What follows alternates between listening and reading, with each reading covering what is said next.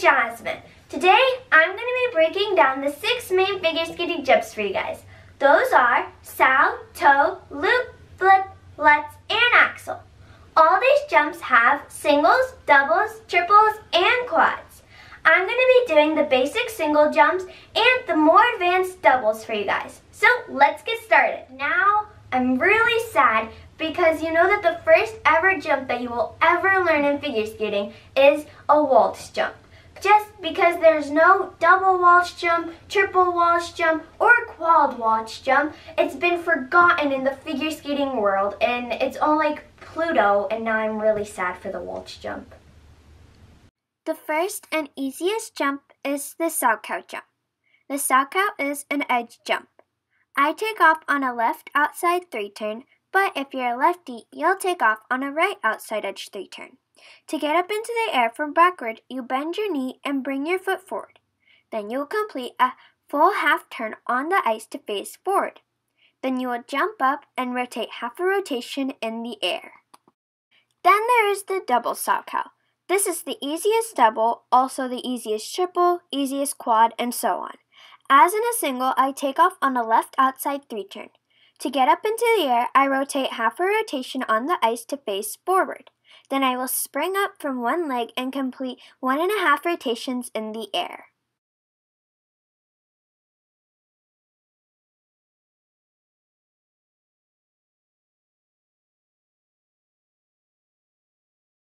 The second jump is the toe loop jump. This jump is a little bit harder to do than the Salchow.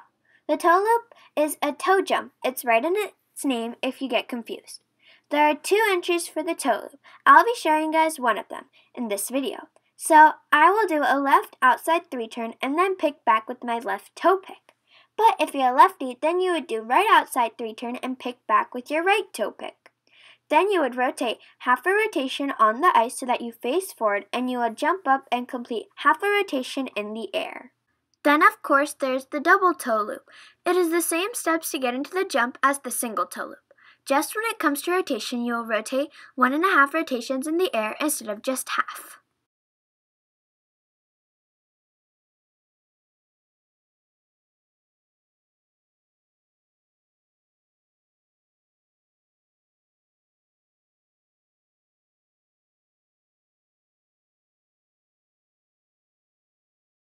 The third jump is the loop jump.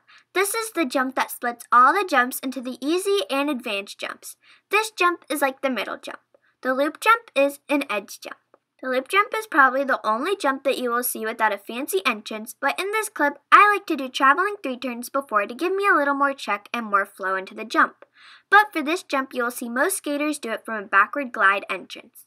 To do this jump, you will be backward, then you will turn half a rotation on the ice so that you face forward. Next, you will jump up into the air and rotate half a rotation. The next jump is the double loop. This jump is really fun once you get it. Again, you could choose to do whatever entrance you want to into the jump. And to do the jump is the same steps, but for the jump, you will not rotate half a rotation in the air. You will rotate one and a half rotations in the air.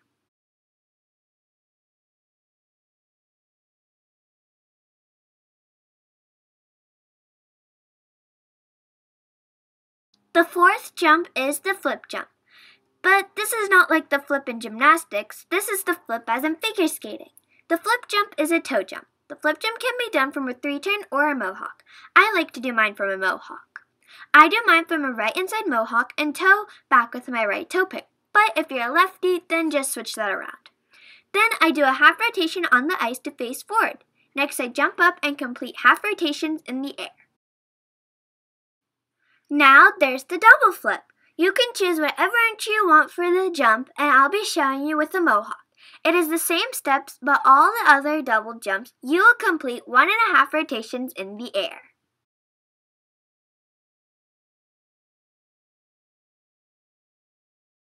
The fifth and most hardest jump of all is the Lutz jump. The Lutz jump is my second favorite.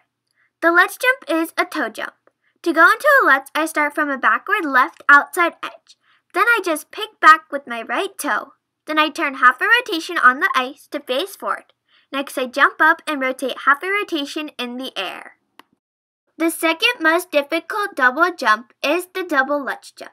The entry is exactly the same, just you rotate one and a half rotations in the air. It might sound really simple, but you have to maintain the nice outside edge curve or else you'll get an edge call in competitions.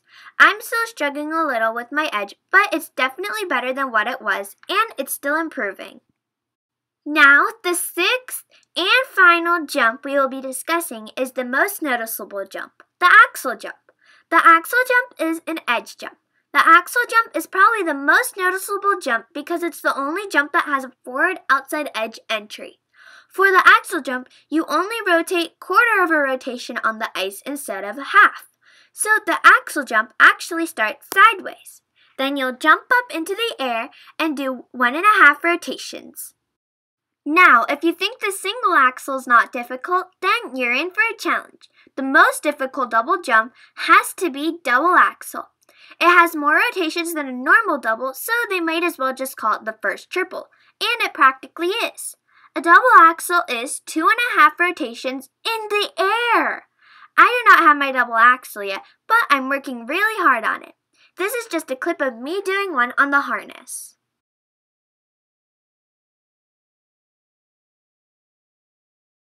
I hope you guys liked that video. I want you guys to comment down below which jump are you working on.